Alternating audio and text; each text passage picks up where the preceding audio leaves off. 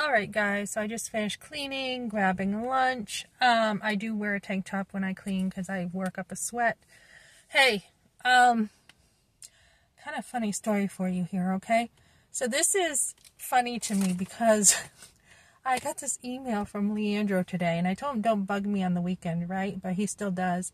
He's like, you don't have to open it on the weekends, your email. So, um, so he sent an email, and he's like you did a 180. You did a 180 on this. And he's like, That's not the deal. The deal is not we're going with a fault divorce. So it's kind of funny because I'm like, just because I agreed if he wants a divorce, he can get one, doesn't mean his financial obligations are not going to be there. So, scripture, okay? Go to scripture when you're dealing with stuff.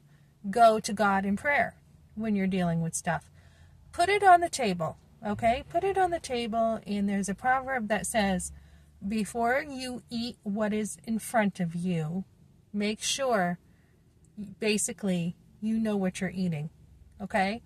And if you are given to an appetite, basically, you might as well just, you know, end it all because you don't want to be somebody who is given to an appetite. I think it says something like I don't know. I gotta look it up. Something like uh, take a knife, you know, uh, cut your hand off or your tongue or something. I don't know. But the point of the proverb, and I remember this, is don't be given to your pleasures in life. Okay? So in the case of the divorce, um, my husband, you know, wanted everything his way. He wants to only pay for taxes. He only wants to pay for um, as little as possible, right? So put it on the table, go along with them, okay? Put it out there. Just word it carefully. Put it out there and see what they really are offering you on the table, so to say. Um, are they really sincere? Do they really want to get a divorce or do they just are they using you? And if you are given to pleasure and you're given to you know, just giving people what they want, you're going to have some consequences, right? You're going to be harmed by this. So when you put something on the table for your husband and his divorce non attorney person, whatever he is, I still don't know what a non attorney is exactly. Put it out there and see what they really want. So he's all ticked off. He's like, This was not the deal. So, all is fair in love and war, right? If I want to change my mind, I have every right to change my mind. All is fair in love and war. And also, um, this is kind of hypocritical, right? They're arguing with me about changing my word when the very fact that we're going through a divorce is my husband breaking his word. So he's breaking 32 years of um, well, 33 now, 33 years of a commitment he's breaking to me, but he wants me to keep my word in a divorce, right? So it's funny how karma comes around, and when it's your turn, you might not like it.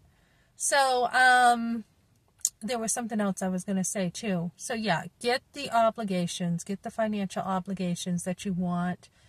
Don't listen to them complaining, whining. We want this and we want that. He's like, You wasted everybody's time. No, I didn't. He's the one who decided to go along with this. And this was the other thing I was going to say.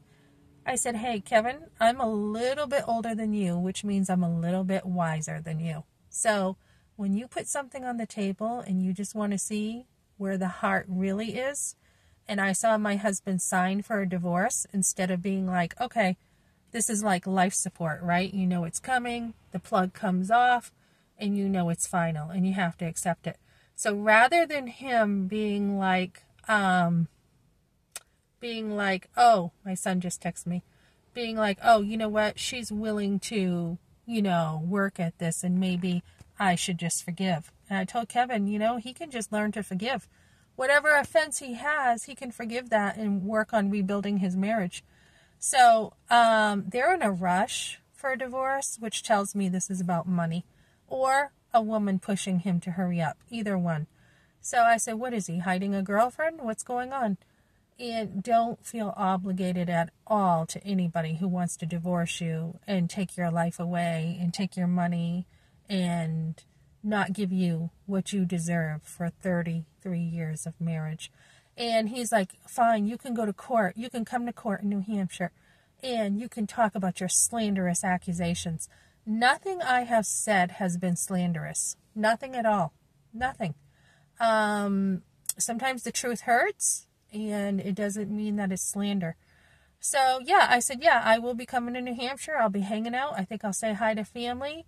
I'll be working. I'll be going to the church. And, uh, yeah, New Hampshire is my state, too. I love New Hampshire. It's my roots, and it's where I'm from. So, he's not going to use my presence in New Hampshire as a weapon against me.